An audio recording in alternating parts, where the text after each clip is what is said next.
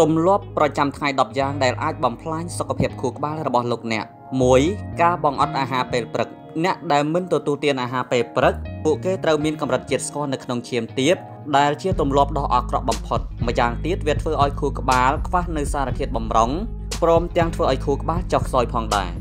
2ការទទួលទានច្រើនជ្រុល ការទទួលទានច្រើនជ្រុលអាចកាត់បន្ថយនៅភាពរឹងមាំរបស់ខួរក្បាល ដែលនាំឲ្យសកម្មភាពខួរក្បាលធ្លាក់ក្នុងសភាពចុះខ្សោយទៅចុះខ្សោយទៅដូច្នេះហើយអ្នកត្រូវកំណត់អាហារបរិភោគប្រចាំថ្ងៃឲ្យបានត្រឹមត្រូវនិងមានអំណត់ដើម្បីឲ្យខួរក្បាលមានដំណើរការល្អ3ការជក់បារីការជក់បារីមិនត្រឹមតែនាំឲ្យមានគ្រោះថ្នាក់ដល់សួតប៉ុណ្ណោះទេ វាក៏អាចមានផលប៉ះពាល់ទៅដល់ខួរក្បាលផងដែរ សារធាតុនីកូទីននៅក្នុងបារីគឺផ្ទុកទៅដោយសារធាតុមួយចំនួនដែលធ្វើឲ្យកោសិការបស់ខួរក្បាលធ្លាក់ចុះទៅធ្លាក់ចុះទៅ ហើយប្រសិនបើអ្នកនៅតែបន្តបាត់បង់នៅកោសិកាខួរក្បាលរបស់លោកអ្នកប្រហែលជាមានជំងឺវង្វេង4ការទទួលទានរបស់ផ្អែមច្រើនអ្វីក៏ដោយឲ្យតែច្រើនលើកម្រិតគឺមិនផ្ដល់នៅផលល្អនោះទេការទទួលទាននៅអាហារដែលមានកម្រិតជាតិស្ករខ្ពស់គឺធ្វើឲ្យការអាក់ខានទៅដល់ការស្រូបយកនៅសារធាតុប្រូតេអ៊ីន និងសារធាតុបម្រុងនៅក្នុងរាងកាយដែលជាហេតុធ្វើឲ្យមានការអាក់ខានដល់ការអភិវឌ្ឍរបស់ខួរក្បាល5ការស្រូបយកជាតិអុកស៊ីសែនមិនគ្រប់គ្រាន់ខួរក្បាលរបស់លោកអ្នកត្រូវការឧស្ម័នអុកស៊ីសែនឲ្យបានគ្រប់គ្រាន់ជាប្រចាំប្រសិនបើវាទទួលមិនបានគ្រប់គ្រាន់នោះទេខួរក្បាលរបស់លោកអ្នកមិនអាចដំណើរការបានល្អនោះទេ6ការគេងមិនគ្រប់គ្រាន់ការគេងគឺពិតជាមានសារៈសំខាន់ណាស់សម្រាប់រាងកាយរបស់មនុស្សជាពិសេសខួរក្បាល វាធ្វើឲ្យខួរក្បាលរបស់យើងអាចសម្រាកបន្ទាប់ពីយើងបានធ្វើការហត់នឿយពេញមួយថ្ងៃ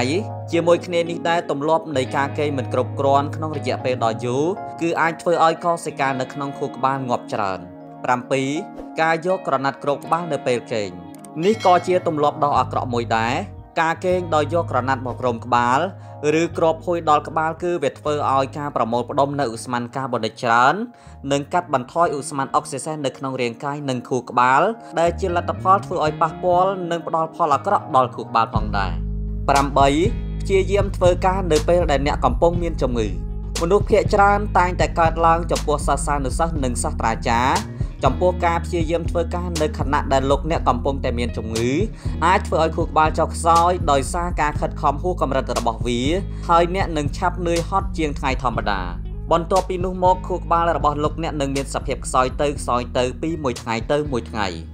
9ការខ្វះខាតនៅការដាស់សតិការគិតគឺជាវិធីដ៏ល្អបំផុតដើម្បីបង្វឹកខួរក្បាលរបស់យើងម្យ៉ាងទៅវិញទៀតការសន្ទនាការសរសេរ